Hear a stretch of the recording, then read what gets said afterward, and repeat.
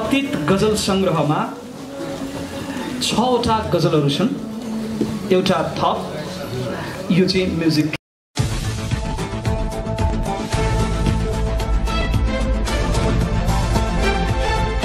पल पलको खबर चलचुला खबर डट कम यी छवटा गजलहरू अतीतमा सङ्ग्रहित छन्। र अर्चिडमा डिजाइनर्सले निकै राम्रो डिजाइन गरेका छ अतीतलाई। थ्याङ्क यू र अब यो विमोचन पनि गरियो। हामी सुन्नका लागि सबैजना आतुर पनि छौँ। उहाँको युनिक स्वर मौलिक स्वर हामी एकछिनमा सुन्छौँ। त्योभन्दा पहिला म युवा सङ्गीतकार सन्तोष श्रेष्ठजीलाई एल्बम सुनिसकिसकेपछि यो गजलहरू सुनिसकेपछि। गर्विलो नाम हो भन्ने मेरो विश्वास हो। अर्जुन मिलन भनेर अब अगाडि बढ्दाखेरि सहज हुन्छ भन्ने मलाई लाग्छ। आजको कार्यक्रममा मञ्चमा रहनुहुने र मञ्चको अग्रभागमा रहनुहुने सबै व्यक्ति र व्यक्तित्वहरूमा एकमुष्ट रूपमा साङ्गीतिक नमस्कार। सर्वप्रथम अतीत अर्जुन मिलन आचार्यको एकल स्वरमा रहेको एल्बम हो गजलको एल्बम। हेर्दाखेरि असाध्यै सुन्दर छ। यो कुराहरू अलिक कम गरिन्छ किनभने कभर हेरेर पनि यसको भित्र अनुमान गर्न सकिन्छ धेरै कुराहरू। कति त्यो आकर्षणले पनि तान्दछ भित्र जाने कि नजाने भन्ने कुरा। जति बाहिरको यसको कभरको आकर्षण छ त्यत्तिकै भित्र यसको गुणात्मक आकर्षण पनि छ र यसले तान्दछ भन्ने विश्वास हो। जम्मा छवटा गजलहरू समावेश गरिएको छ।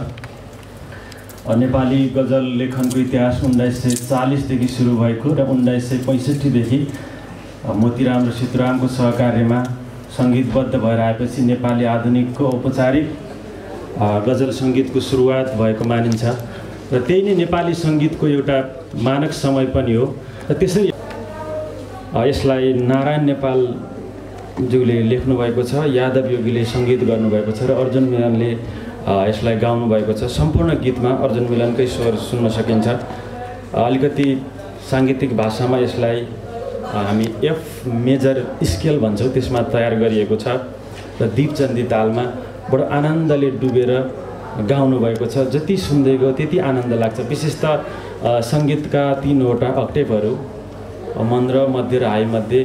मन्द र मध्य शतकमा राम्रो ढङ्गले यसलाई गायनको माध्यमबाट प्रस्तुत गर्नुभएको छ। विशेष गरी यो शान्तिको कामना गरिएको गजल यो सधैँभरि आवश्यक चिज हो किनभने हामी क्रान्ति मन पराउँदैनौँ। र दोस्रो रचना रहेको छ। शब्द सङ्गीत र स्वर अर्जुन मिलनकै छ। मौनताको सहरमा हल्ला चलेको छ। हरदम किन किन जीवन साह्रै गलेको छ। यो हामीले केही समय अगाडिदेखि नै सुन्दै आइरहेकोले गर्दा यसमा सङ्ग्रहित गरेको गर्नुभएको छ गजल एल्बममा आउँदा र यसलाई डी सार्प मेजरमा राखिएको छ स्केलको हिसाबले र हामी दादरा ताल भन्छौँ त्यसमा तयार गरिएको छ। यो शान्तिमय जीवनमा कहिलेकाहीँ विभिन्न चिजहरूले कतै बिथुल्न खोजिरहेको हुन्छ यो यो गजल अघि सन्तोष भाइले भने जस्तो। मेरो सबैभन्दा पुरानो गजल आफै रचना र सङ्गीत गरेँ।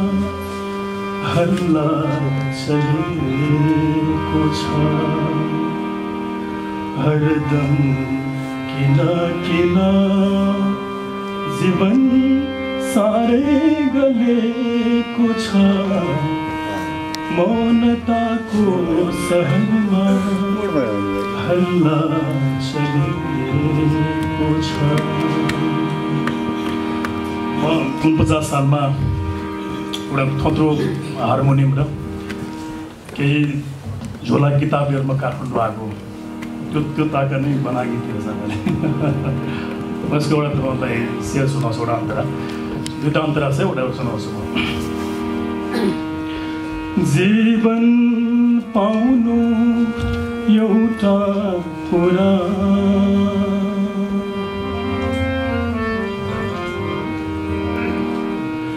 जीवन पाउनु एउटा कुरा। त्यसलाई जिउनु अर्कै कुरा। जीवन पाउनु एउटा कुरा। त्यसलाई जिउनु अर्कै कुरा। अनायासै मन किन आज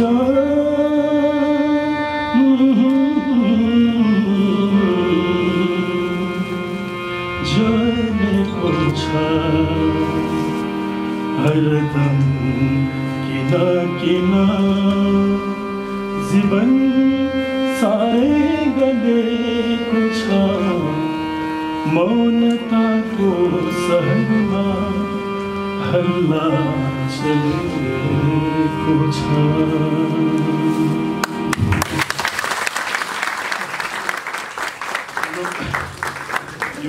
यो अर्को अन्तरा यसमा सिडीमा सुन्नु होला म अर्को एउटा एक दुईजना सुनाउँछु मैले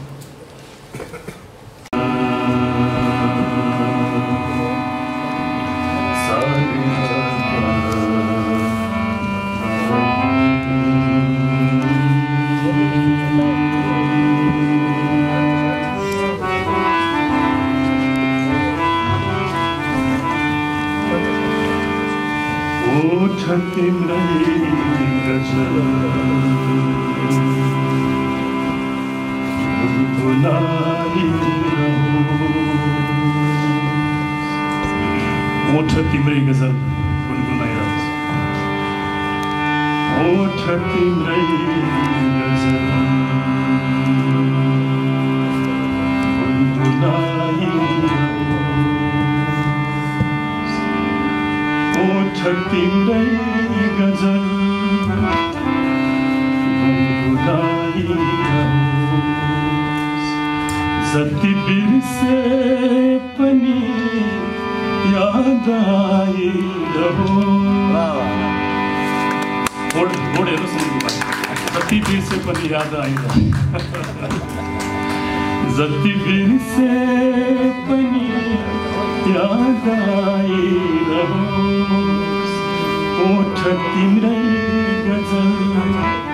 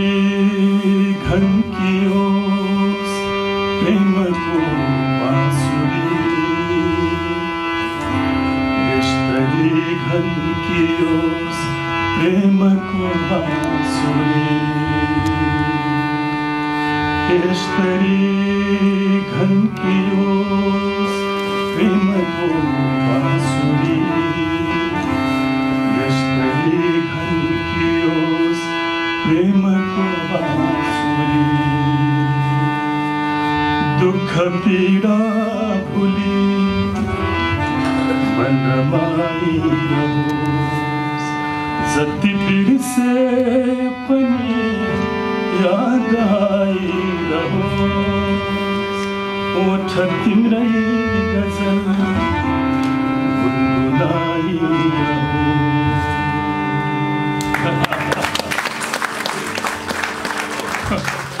अर्को एउटा सेयर गाउँछु यस्तो मिठो देख्नु भएको छ त्यो चाहिँ अँ, मजा आयो यसमा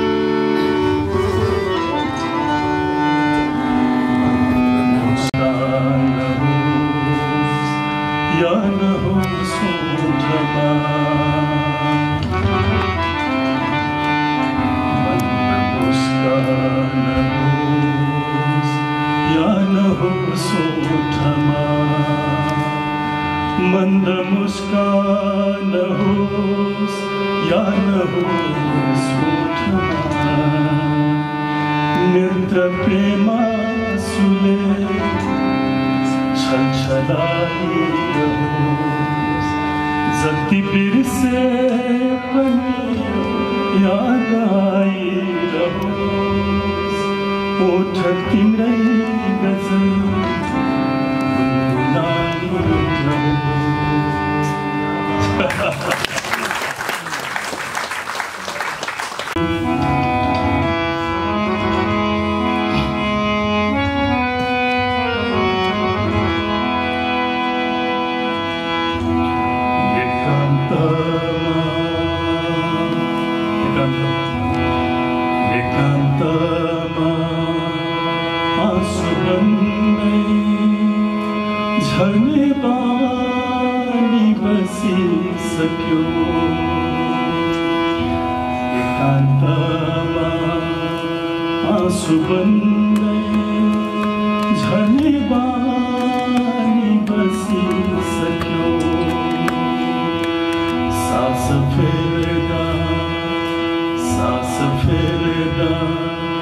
फेर्दै पानी मर्ने बानी बसी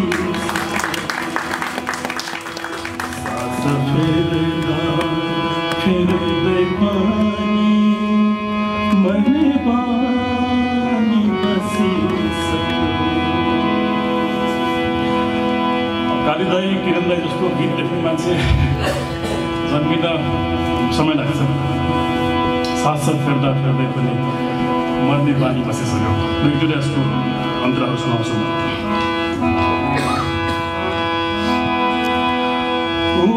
कालीमा जस जसलाई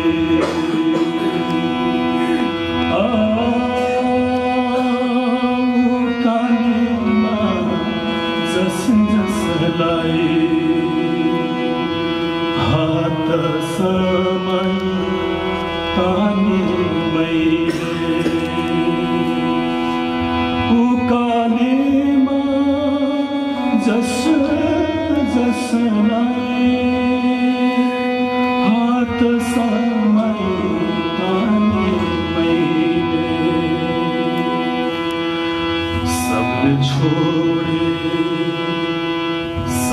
छोडे एक्लै खोला तर्ने बानी बसिसक्यो सबले छोडे एक्लै खोला तर्ने बानी बसिसक्यो एकान्तमा आँस-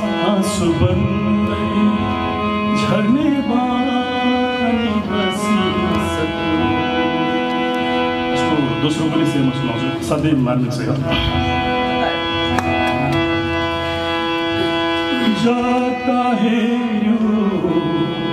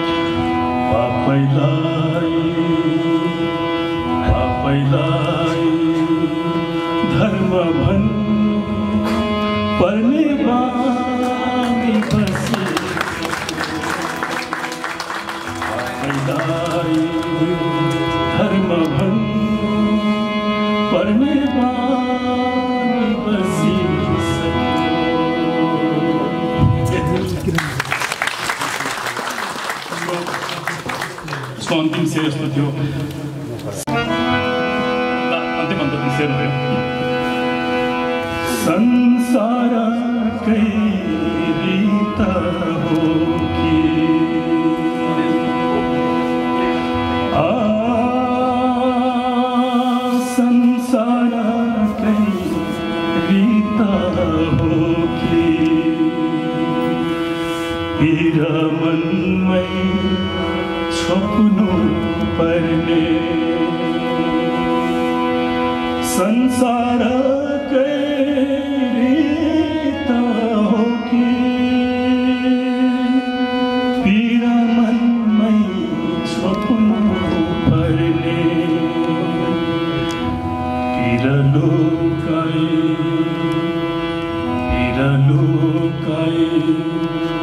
마소 철레반이 버시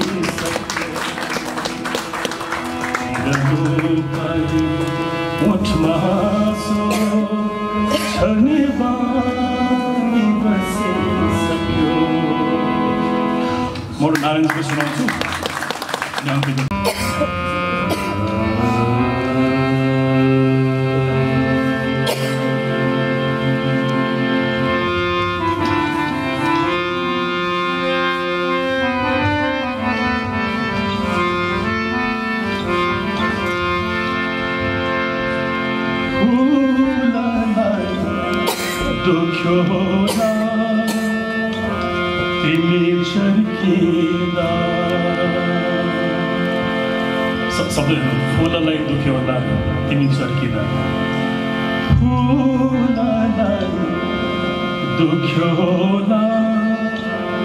तिमी छर्किँदा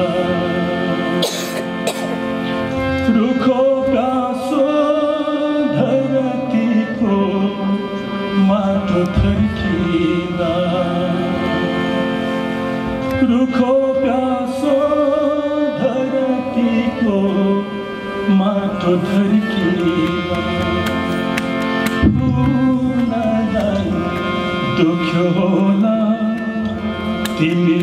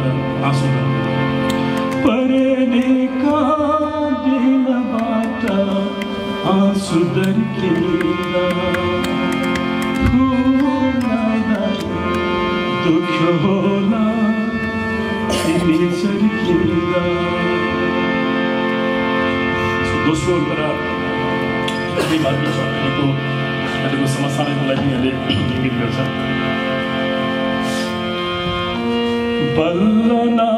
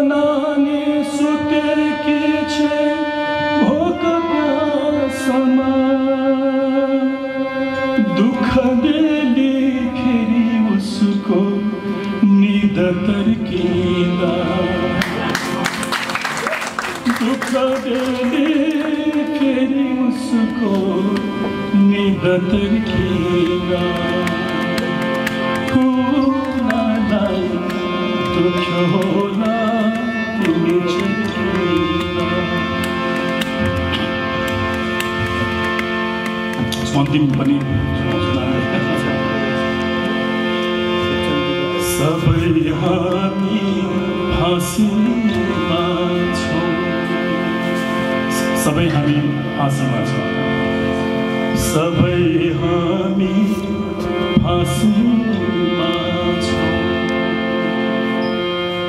सबै हामी फाँसीमा छौँ सबै हामी फाँसीमा सबै हामी फाँसीमा छौँ यो विदेशमा जिन्दगीको फुर्छको काम डोरी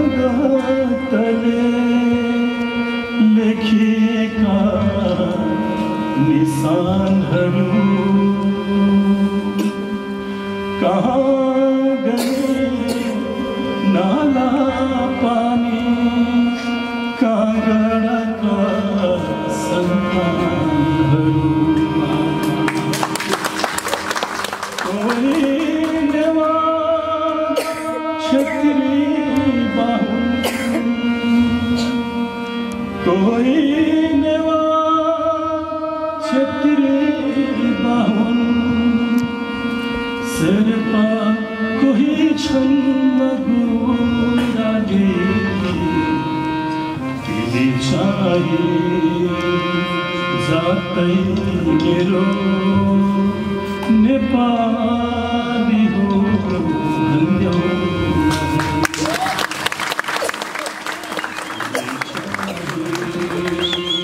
जातै मेरो नेपाली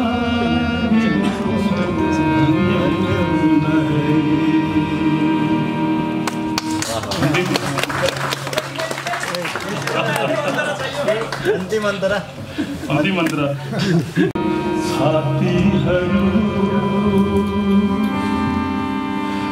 यस्तो गीत कहाँ कहाँ पाउनु भाइ हामी तपाईँलाई सम्मान गर्छौँ देखिँदैनन् आज भोलि देश दुख्ने छातीहरू वीरभद्र अमर सिंहका जिउँदा छोरा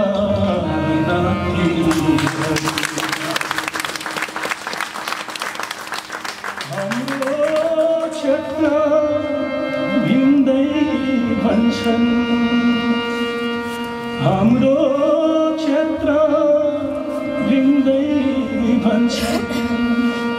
धर्म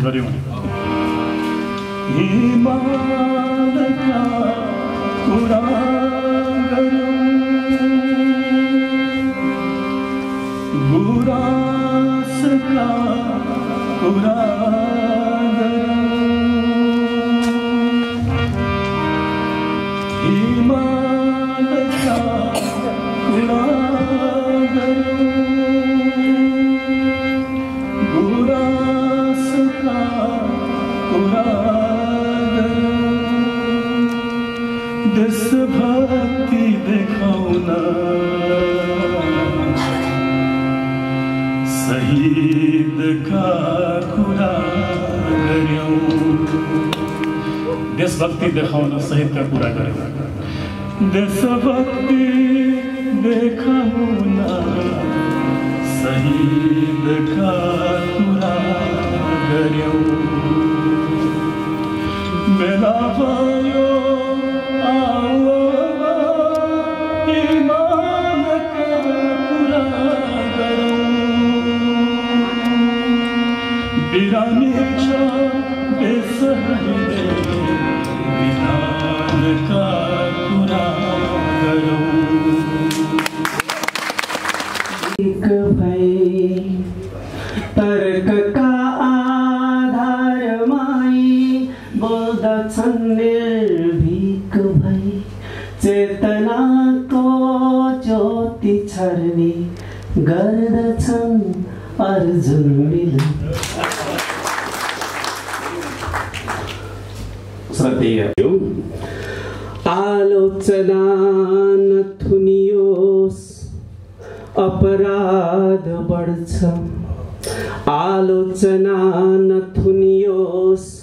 अपराध बढ्छ झुट्टा कुरा नसुनियोस् अपराध बढ्छ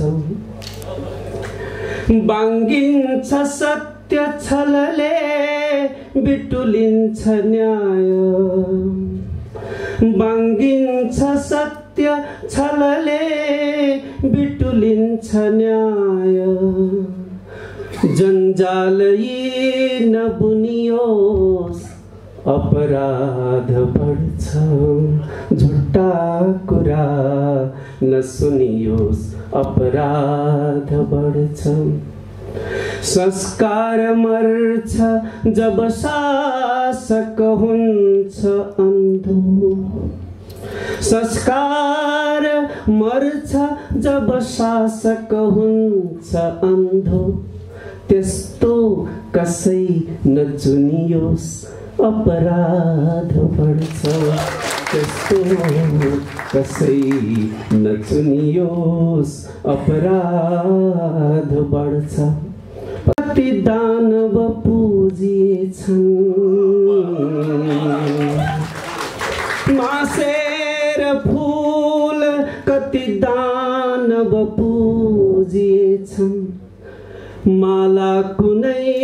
नउनियोस् अपराध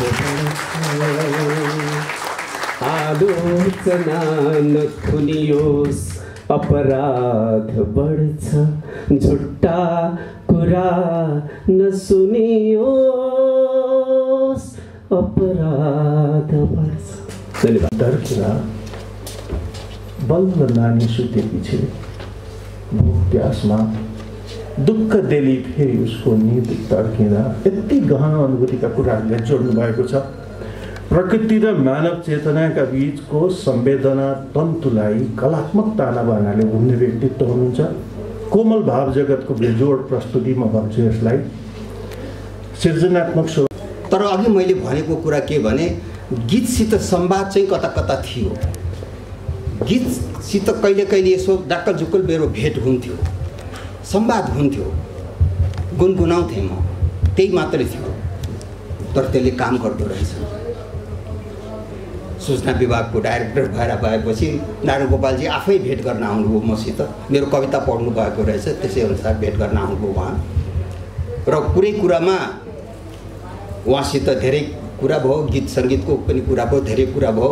उहाँलाई के लाग्यो कुनी एक दिन उहाँले मलाई ल रिजालजी तपाईँ गीत लेख्नुहोस्। म गाउँछु भन्नुभयो मलाई त चक्र लाग्ला जस्तो भयो भिडटा जस्तो भयो। यत्रो वर्षसम्म गीत लेखेको छैन नारायण गोपाल जस्तो मान्छे। कहिले कहिले त मैले देखाएको छु त्यो गीत च्यातेर फालिदिने कहिले रिसाउने त्यस्तो गर्ने मान्छे। अब योसित मैले कसरी गर्ने? मैले बडा विनयपूर्वक मैले भने म गीत लेख्थेँ गाउँथेँ पनि म धरान विराटमा त गाउँथेँ पनि तर धेरै भयो मैले लेखेको म लेख्न सक्थेँ। तर उहाँलाई कस्तो विश्वास? खालि कविता पढेको भरमा होइन तपाईँ लेख्नुहोस् भनेर भन्नुभयो। आखिर झन्डै बिस वर्षको अन्तरालमा उहाँको आग्रहमा मैले एक दिन संसारबारको छुट्टीमा लेखेँ मैले एउटाले गर्दाखेरि फेरि नमन पर्ला भन्ने दुईवटा लेखेँ। फेरि यो त खुब कुरा गर्नु त्यो गीत यस्तो यताउति भन्ने तर खै त्यो आएन नि त गीतमा त त्यो कुरा आएन। भनिदियो भने त फेरि बर्बाद भयो भनेर कमसेकम दुईवटा लेख्यो भने एउटा त गर्दैन सान्त्वना त पाइहाल्छु नि भन्ने कुरा थियो।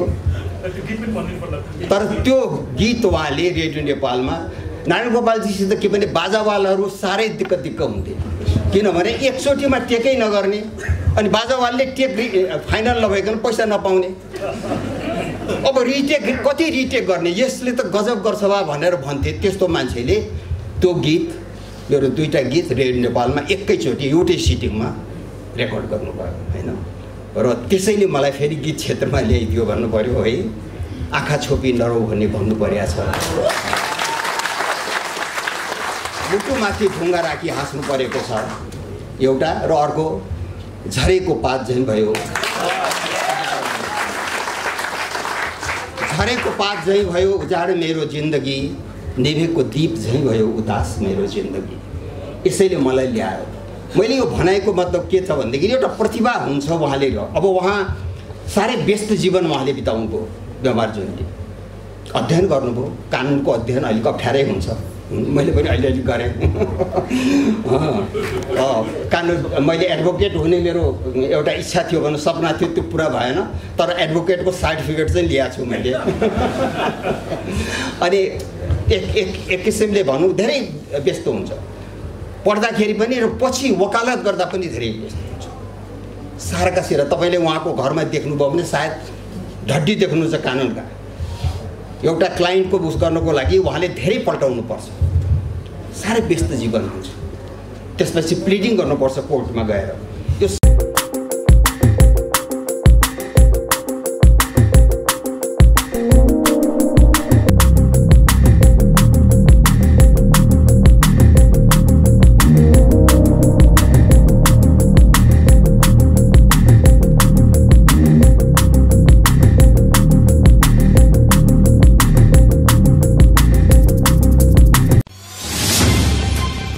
जयवीर मिडियाको प्रस्तुति जलझोला अनलाइन टेलिभिजन।